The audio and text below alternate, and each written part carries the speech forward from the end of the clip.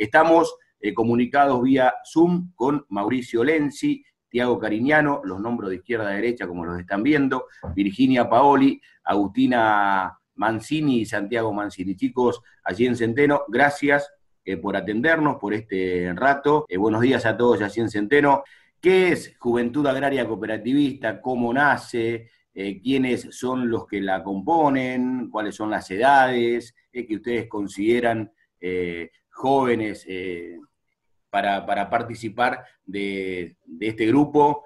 que están llevando adelante muchas iniciativas que tienen que ver con el cuidado básicamente del, medio ambiente? Bueno, nosotros somos el movimiento de jóvenes de la Cooperativa Agrícola de Centeno, la Industrial Argentina. Eh, los jóvenes que tenemos actualmente somos alrededor de 16, entre 15 y 25 30 años. Eh, también pertenecemos a ACA Jóvenes, que es el conjunto de juventudes de cooperativas que están asociadas a la Asociación de Cooperativas Argentinas. Em, y lo que hacemos nosotros como juventud es tener varios proyectos o actividades relacionadas al cuidado del medio ambiente y también con la comunidad. Exacto. Bueno, y entre esos programas, esos temas que, trabajaron, eh, ¿cuáles son para que los conozcamos? Eh, ¿En qué estuvieron trabajando estos últimos años? ¿En qué están trabajando este año puntualmente? ¿Qué es lo que más le preocupa en relación con el tema medioambiental? Bueno, eh, últimamente estuvimos trabajando con eh, el proyecto de cobotellas. no sé, bueno, explicamos lo que es más o menos. Sí, sí. Una bolsa de plástico que se rellena con el plástico que usamos diariamente en nuestras casas, qué sé yo, paquetes de azúcar, de fideo, ese tipo de plástico más eh, difícil de reciclar. acá en Centeno tenemos puntos de recolección y próximamente nos vamos a extender hasta San Genaro. Eh, una vez recolectados, se llevan a Buenos Aires a reciclar. ¿Y eso lo trabajan con toda la comunidad en relación con la comuna o son actividades independientes de, la comuna de Centeno? ¿Solamente eh, las llevan adelante ustedes? No, eh, por el momento las llevamos solo adelante nosotros y este año íbamos a arrancar a trabajar con las escuelas, pero bueno, la pandemia nos cortó. Complicó, sí, sí. Bueno, y, todos, ¿qué, ¿qué, es lo que les disparó la, la, idea a cada uno de ustedes? Que me cuenten eh, su, historia personal, eh, eh, el por qué involucrarse con este, con este grupo y, con este tema puntual. Bueno, lo que nos llevó, creo que a, los, a los cuatro y a cada uno de los integrantes fue que la idea o los proyectos que teníamos en mente, que capaz que eran iguales a los que toda la juventud que estamos acá adentro tenía en su punto en su punto de guía. Entonces uno, uno de los puntos a, ingresar a esta juventud fue, fue eso para casi todos.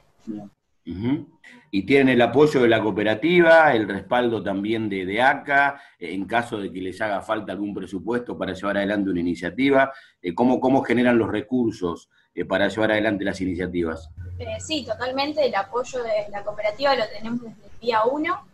En realidad, bueno, para agregar un poco a lo que comentaba Santiago, nosotros se formó esta juventud porque los chicos del Consejo de lo que es acá jóvenes visitaron la cooperativa y con el apoyo de la cooperativa eh, se sumaron, nos sumamos algunos de nosotros podemos participar de un seminario nacional en el que había muchas capacitaciones y de todas ellas las que más nos llamó la atención fue el hecho de una planta de reciclaje cercana en Cañada de Gómez y así fue como de todas las capacitaciones, la que más nos interesó fue esa, comenzamos un primer proyecto de reciclaje de silo bolsa. ¿Solamente reciclan silo bolsa allí en, la planta de, de Canilla de Gómez de reciclaje? ¿O también trabajan sobre los bidones de, químicos, de agroquímicos?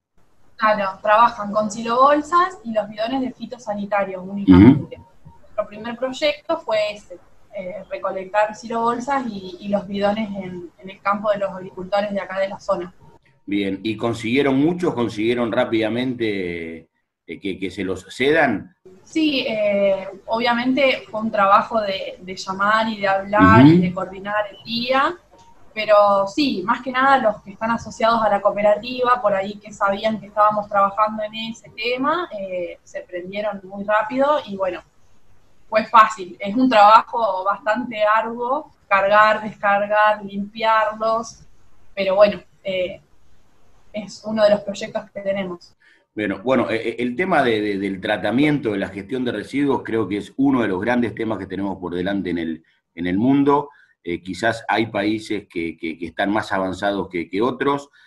aquí, indudablemente, hay, aparecen proyectos en nuestras localidades, allí en Centeno, Seguro, San Genaro, aquí en Doctoras también, hay, hay proyectos, incluso hay una, una ordenanza de separar los residuos, pero el cumplimiento, por supuesto que no es total. Ustedes también notan que faltan todavía que demos un par de pasos en cuanto a tomar conciencia. Con el tema de los residuos, nosotros quisimos hacer una prueba justamente de eso con lo de cobotellas. Y la realidad es que fue sorprendente acá en, en el pueblo, cómo se sumó muchísima gente. Actualmente es mucha la cantidad de gente que hace cobotellas. Es eh, la cantidad de plástico que utilizan en sus casas diariamente y esa parte se está reciclando. Entonces creemos que es todavía más difícil que se haga una eh, separación completa de residuos en lo que es orgánicos e inorgánicos, con el tiempo puede lograrse. Sí, yo creo que va todo por la concientización de la gente, de que no lo hagan por obligación, sino porque estás preocupado por el mundo que estamos dejando, qué sé yo, me parece que es un tema de conciencia común de todos. Bueno, y con el tema, cuando dicen reciclar, eh, ¿en qué lo, se transforman eh, estos, estos residuos? ¿Qué es lo que buscan finalmente? Bueno, cuando se lleva a la planta de Cañada de Gómez, el, producto que sale de esa planta es, son pellets, digamos, serán de, medio centímetro o más chicos, que a la vez eso se vende a alguna a otra planta y, y se, se hacen infinitos materiales, digamos, eh, lo que son vales para la construcción, conos, infinidad de, productos plásticos reciclados, digamos. También es una de las grandes discusiones cuando uno habla del cuidado del medio ambiente en estas localidades, eh, en, la, en Totoras, en la que viven ustedes en Centeno, aparece ese gran tema de la utilización de productos fitosanitarios o agroquímicos o agrotóxicos, según quién, lo, eh, lo cita. Eh, ¿Cuál es su posición eh, cuando escuchan debates sobre este tema del uso de, agroquímicos o de agrotóxicos, sabiendo que en todas las localidades están ahí arriba de la opinión pública este tipo de, de debates, ¿no? bueno, nosotros consideramos, ya que estuvimos en muchos, como he dicho, seminarios y congresos capacitándonos en temas también del agro. Eh, el uso de fitosanitarios lo que más tiene que ver es con las buenas prácticas. Que consideramos que mientras se apliquen buenas prácticas agrícolas y se cumplan las leyes y medidas necesarias, deben aplicarse como, como se hace. El problema es cuando no se cumplen las leyes y no se aplican esas buenas prácticas agrícolas, es cuando invade a, la gente o a lugares que no debería, y ahí es cuando se causan los problemas. El cuando se hace un, manejo irracional de, los productos fitosanitarios y no se tiene una conciencia ambiental y ecológica de lo que está haciendo. Por eso también pasa por la confianza que tenga el ciudadano común eh, en, los controles que hagan eh, las autoridades políticas, pero también eh, uno depende de la responsabilidad de los aplicadores y, de los productores, ¿no? Es un, es un conjunto que tampoco es fácil lograr quién tiene más razón, si los que piden prohibición total o los que piden buenas prácticas. Es un tema. A mí me parece que también hay mucha desinformación en el tema más que información, y por ahí la comunidad escucha cosas y las, las eh, repite y por ahí son cosas que no están correctas y también es muy difícil revertir eso cuando eh, después tenés que, defender o, llegar a, ayudar a alguien que no está, que está haciendo las cosas bien y que bueno, ya se creó la mala imagen. Hablemos de la charla sobre huerta orgánica, que será el próximo lunes y que nos invitaron, por supuesto, y, lo agradecemos a que podamos compartir esa charla a través de nuestra, de nuestra pantalla de, la, de nuestro canal local. ¿En qué están trabajando puntualmente ustedes con el tema huerta orgánica? Eh, ¿cómo, ¿cómo, la imaginan eh, impactando este tipo de actividades en, cada uno de nosotros, en cada uno de los vecinos de, Centeno. ¿Se imaginan, cuando hablan de huerta orgánicas, huerta en cada uno de los hogares? ¿Se imaginan eh, producciones orgánicas eh, cercana a las localidades para generar alimentos. ¿Por dónde marcha la, visión de ustedes en este tema y qué objetivos se plantean con la, con la charla? ¿En qué consistirá finalmente?